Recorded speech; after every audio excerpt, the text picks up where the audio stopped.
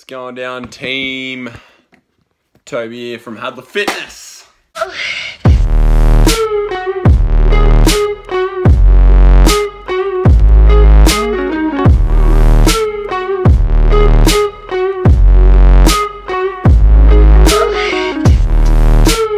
welcome to the vid. Alright, so what we're going through today is muscle growth, which is going to be stimulated by chasing the pump. So chasing the pump is a style of training where you basically just either training till failure or training till you feel that muscle burn, you feel muscle contraction and cellular, cellular walls within the muscle fibers really swell up so you get a lot of sacroplasmic hypertrophy, a lot of swelling in the uh, muscle fiber cell. So this is what we're talking about. So this is the training method that the bros have been using for years. All right, so we're gonna get right into it.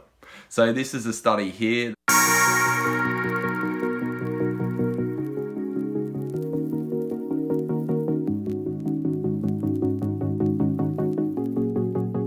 that we're going to be going through today.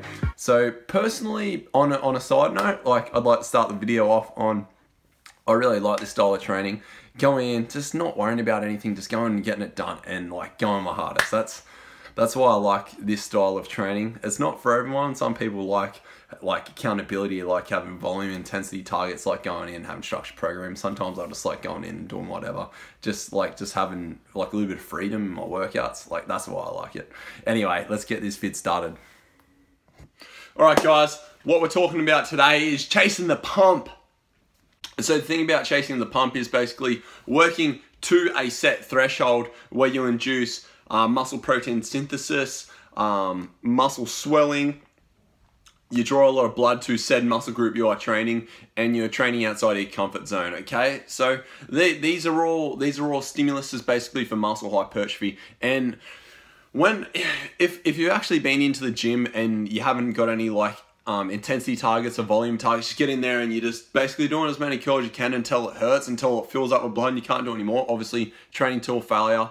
Um, like th this is a form of auto regulation. So you're going in the gym, doing as many as many reps as possible on that current day, and you're using a weight that's usually outside your comfort zone. You're doing it to fail. So you're going to induce some muscle swelling and some muscle growth. So if you train like this on a regular basis, generally if you're a um, newbie or someone who's intermediate, like just been in the lifting game for maybe a few years, this is a really good way to train, especially if you're uh, on a new program or you just um, train each muscle group a few times a week, doing upper body, lower body program or full body, or you're doing a bro workout and you, you, are uh, doing some new exercises. A perfect way to train. It's an awesome way to get in some volume and a good amount of intensity, and you don't have to really hold yourself accountable 120% if you know what I mean. Okay, so with this, obviously the thing about auto regulation is basically going in and doing what you can on the day. So when you work out like this, some days, like some days you'd go in, you could bench 100 kilos at 10 reps, and you could try and back that up the next day, and you might only be able to get like I don't know six or seven reps out. So you regulate your workouts. So you drop the weight, or you up the weight, up the reps, or you drop the reps and up the weight, or you increase at a set or you decrease the sets, add more reps. So you pretty much just change you change the three pillars of fitness. So when it comes to working out, you got intensity, frequency, and volume. So you increase one of these and you bring the other two down. So what I like to do, and a good form of um, of chasing the pump, so to say, in which um, Arnold and Muhammad Ali usually follow. Like the reps don't count until it starts to hurt. So they'll basically just do push-ups until they actually start feeling the muscle um, contracting and relaxing and it becomes difficult for them to do because for them, they have a set amount of like energy and endurance and strength that their body can actually handle. And then when they reach a certain point, a threshold, is when they're going to induce new muscle growth. So this threshold is basically when the muscle is going to swell and you're going to be roughly outside your comfort zone. You're pushing new limits. You're pushing and stressing and um, you're pushing, stressing, and just breaking through plateaus, so to say. So uh, the people like a lot of people get into like periodization. You have to do this many reps. You have to do. You have to lift this much weight. You have to do this. You have to do that. Like life's not perfect. This is an awesome way to train. I love to train this way. It's not the most optimal. Obviously, having a said periodized program and getting in volume targets intensity targets and having said deload weeks and working out each muscle group so many times a week, etc., etc., depending on what kind of um, periodization model you are following and who's written it for you, um, like your body type, your posture, like all those kinds of things, and your goals and your food intake. And but if you're just going to the gym, you're just an average Joe. This is a good way to train. So make sure you're in the gym, stimulating both um, each muscle group a few times a week. So generally, you want to be doing chest two times a week. You want to be doing shoulders two times a week, legs two times a week, and doing bis, tries, a little bit of back, and some abs two, three times a week. So doing all this with an accumulation of adding on a little bit of weight. So um, if you can do 10 reps on something, like add an extra 2.5 to 10 kilos or whatever exercise it is, might be bench press, might be shoulder press. So add a little bit of extra weight onto that, whether that be dumbbells or a barbell.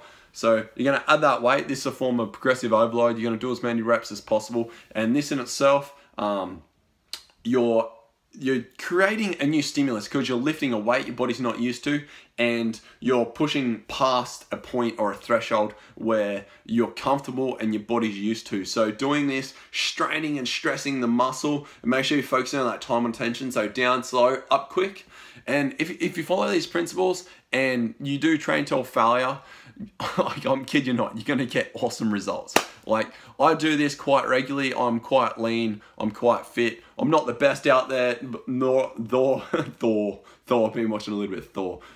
So pretty much, I'm not the best. I'm not the worst, but it, it's it's a good way to train, especially if you like going to the gym and you like doing high repetition work. Just remember, you want to be lifting heavy. You want to be lifting light. So um, have heavy days, have light days. Make sure you, you're working out each muscle group a few times a week and get in there, do like a heavy set, do a light set, and then do a set where you basically just go to fail.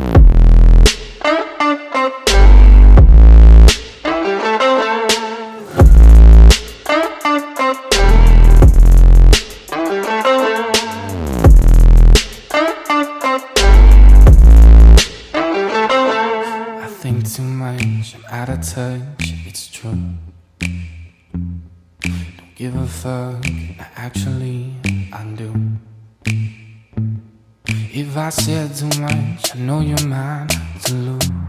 Make sure you're changing up your exercises like every every I'd say four to six weeks. Make sure if you're doing, say, shoulder press with a barbell, Olympic barbell with plates on the sides, maybe swap to dumbbell press or something like that. And you are changing maybe your program or your training days. So instead of doing maybe a full body program, change to a upper body, lower body program. So do this maybe once every um, three to six months, just to stop plateaus and introduce something new, and just to keep that excitement there in the programming. All right, guys, so keep it real. As always, make sure you like, subscribe, and share the vid. I'll see you in the next one.